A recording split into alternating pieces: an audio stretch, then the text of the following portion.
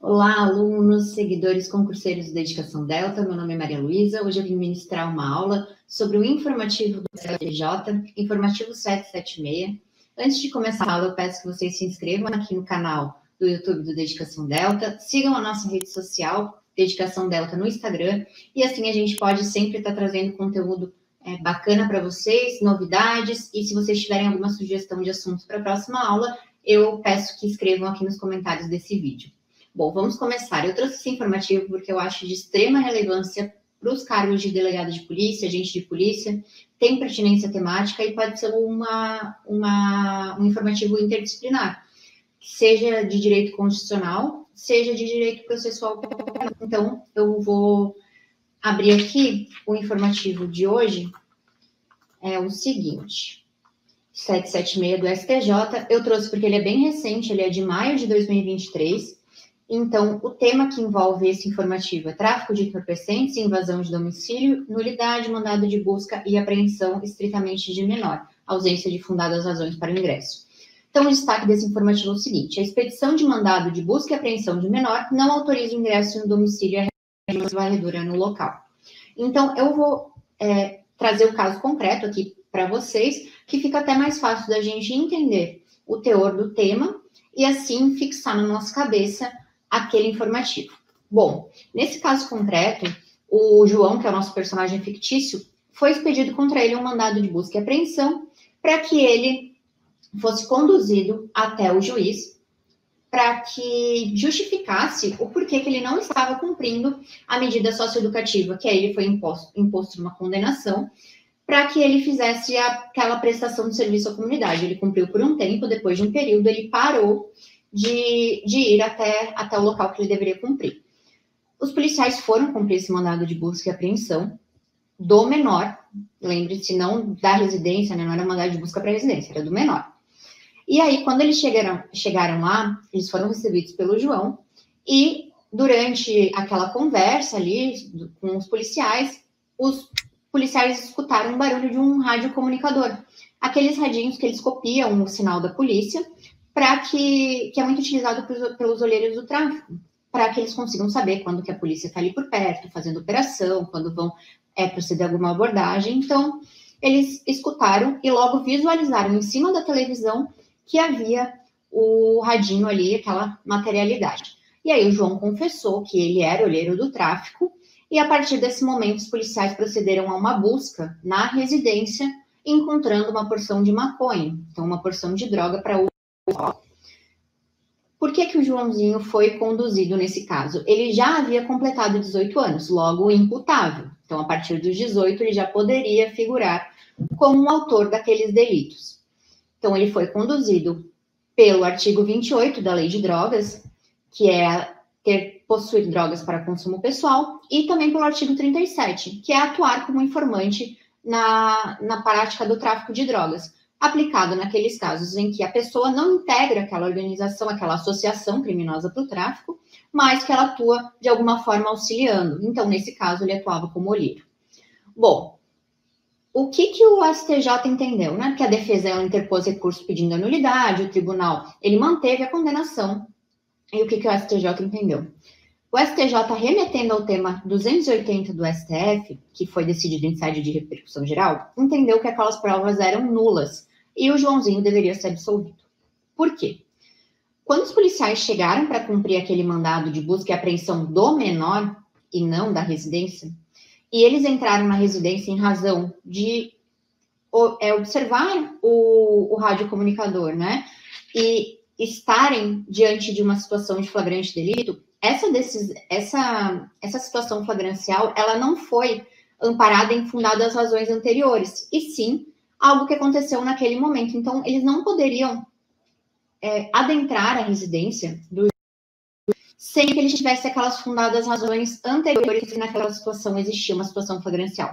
A gente vai conseguir é, entender melhor olhando o tema 280 do STF. E eu peço atenção aqui, gente, porque esse tema do STF ele é de 2015, mas ele vive caindo em provas. Ele é foi como se fosse um start, o principal julgado desse tema de inviolabilidade de domicílio. Então vamos ler com bastante atenção e principalmente observando as consequências que essa entrada essa entrada ilegal, né, ilícita, ela gera. Então, tema 280 do STF. A entrada forçada em domicílio sem mandado judicial só é lícita, mesmo em período noturno, quando amparada em fundadas razões devidamente justificadas a posteriori, que indiquem que dentro da casa ocorre situação de flagrante delito, sob pena de responsabilidade disciplinar, civil e penal do agente ou da autoridade, e de nulidade dos atos praticados. Então, o primeiro ponto é que as devidas as razões, as fundadas razões, elas devem ser justificadas posteriormente, porém elas devem ser anteriores. Então, diligências prévias, investigação, uma situação que ocorreu antes da entrada da casa. Então, isso autorizaria e seria uma hipótese de uma exceção da inviolabilidade de domicílio, que é um direito fundamental de todo indivíduo. O que, que acontece nos casos em que a, a, houve violação do domicílio, né? a responsabilidade tríplice daquele agente, que é a responsabilidade no âmbito administrativo, a responsabilidade disciplinar. No âmbito civil, pode haver um, um pedido de indenização por aquele constrangimento, e no âmbito penal também. E aí o ponto principal da nossa aula de hoje, que é a nulidade dos atos praticados. Então, a partir do momento que os policiais entraram na casa para proceder uma busca sem que houvesse essas fundadas razões anteriores, Nesse caso,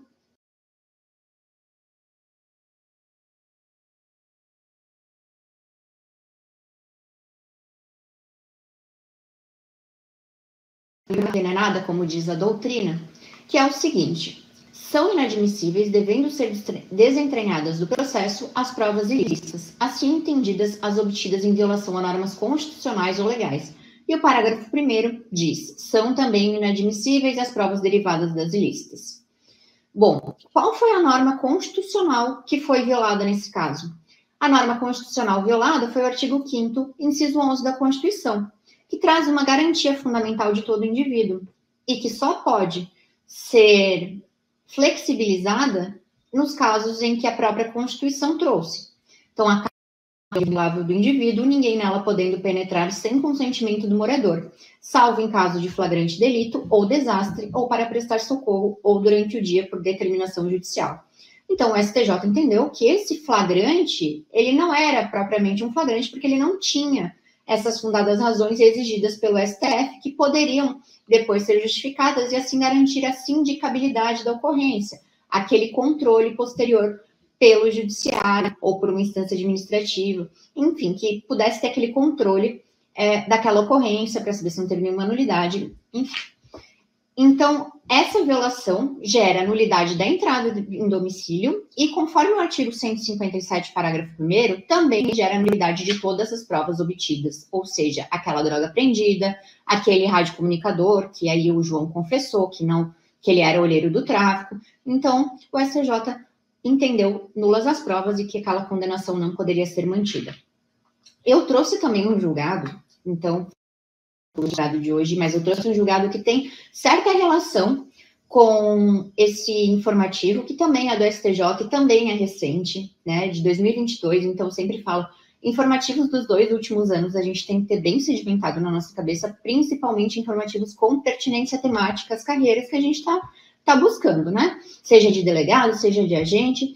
Então, esse informativo ele versa sobre o desvio de finalidade de uma ocorrência. Então, admitir a entrada na residência especificamente para efetuar uma prisão não significa conceder um salvo-conduto para que todo o seu interior seja vasculhado injustamente, em verdadeira pescaria probatória, fishing expedition, sob pena de nulidade das provas de desvio de finalidade. Então, quando os policiais eles têm um mandado de busca ou quando eles têm um mandado de, de prisão, no caso ali de busca de menor, como foi o caso desse informativo primeiro que a gente leu, eles têm que cumprir a estrita finalidade daquela, daquele mandado. E então, se o mandado, for, se o mandado fosse de prisão, essa finalidade deveria ser prender o, aquele a quem é destinado o mandado e não vasculhar a casa. Então, esse julgado eu acho importante, ele fala de fishing expedition, né, que é algo bem atual, e isso vai ser tratado num próximo informativo, com mais detalhes, mas essa a questão do desvio de finalidade também é importante a gente saber. Quando tem um mandado para algo, seja se for mandado de prisão, ele é para efetuar a prisão e não para efetuar a busca na casa, ainda que o autor, aquele a quem é destinado o mandado, ele esteja dentro de uma residência. Então, aqui eu trouxe, por fim, aqui só o nosso julgado de hoje, né? Terminando. É, de novo, esse julgado é de maio de 2023, bem atual, com pertinência temática. Então, peço que vocês, sempre que possível, leiam um inteiro, teor. E a gente finaliza assim a nossa aula. Eu agradeço a atenção de todos. E se tiverem alguma dúvida, podem me procurar, escrever aqui nos comentários, que a gente vai estar sempre olhando e trazendo novidades para vocês. Obrigada, pessoal. Até a próxima.